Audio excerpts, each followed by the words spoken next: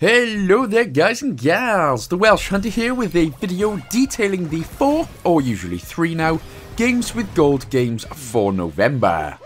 Now what I mean by detailing is just having a look and checking out how long it takes to complete, how easy or hard it is, and of course if it's any good.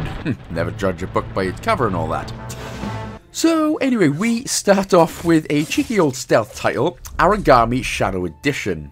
Now, first off to note, the Shadow Edition contains the original game and the prequel, which is always a good start, and this is available from the 1st to the 30th of November. Also, remember, Maid of Sker is also available until the 16th of November, so download that while it gets good.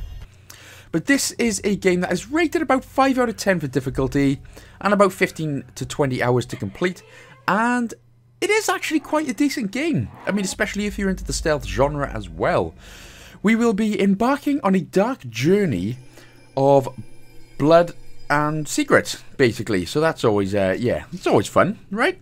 So if you get your genitalia wet about that sort of thing, this is right up your street.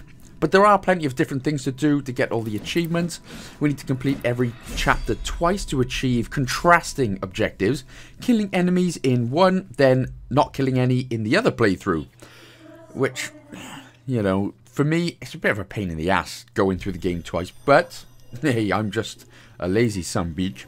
Uh, also, there are a lot of scrolls to collect, but other than those, it'll be a lot of situational uh, achievements to get, and you will get them along the way. Overall, it's not difficult, but it can take a while purely due to going through the game twice.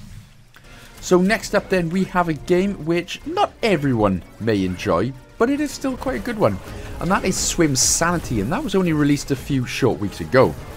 And why might others not enjoy it? Well, it's a multiplayer shoot 'em up, and the keyword there is multiplayer.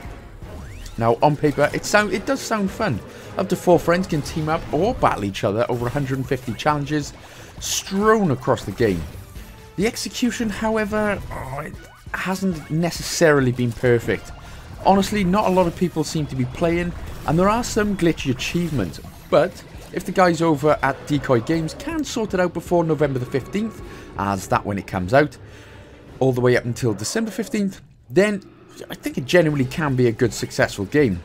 Judging from the achievement list, you know, you've got to win 100 matches, survive different levels and wave games, and to be honest, this does look more like a 7 out of 10 difficulty and seemingly over 100 hours to complete, unless of course you can constantly just boost it all the time, which would drastically reduce said time of difficulty.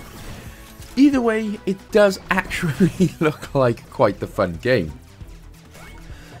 And the third game, and the final game with achievements you can get, is... Eh, you can't beat it. You just cannot beat it you can't beat a bloody Lego game, and that one is Lego Indiana Jones. And for the final game, you can grab another 1k in, is, like I said, always fun Indiana Jones Lego. And basically, with all Lego games, you can just chuck in a few cheats to make your life nice and easier. Play scenes from the first three movies, job done. Uh, achievements wise, again, you know, if you haven't played it yet, still somehow, for some reason, there's not much going on apart from the unlock all characters, uh, unlock a ton of studs, etc. But with an estimated difficulty out of 3 out of 10 and a 10 to 15 hour completion rate, expect this one to get done rather quickly. And this one is available from the 16th to the 30th of November. Enjoy! And for the fourth and final game, but of course this one is without achievements, seen as it is an Xbox original game, is Full Spectrum Warrior. Now, a lot of you will remember, like I said, this on the PlayStation 2 or the original Xbox, one I enjoyed thoroughly, but it is a squad-based real-time tactical type game, very much like Operation Flashpoint if anyone has played that. Uh, you need to command Alpha and Bravo squads using authentic military protocols as you battle your way through every level. And that one is available from the 1st to the 16th of November. So that's that then, guys and gals. I mean, is there any game that actually tickles your pickle? Or are you slightly disappointed again by what's on offer? Because as we all know, Games with Gold has taken a lot of flack in recent months. But let me know below, and thank you so, so much for watching, guys and gals.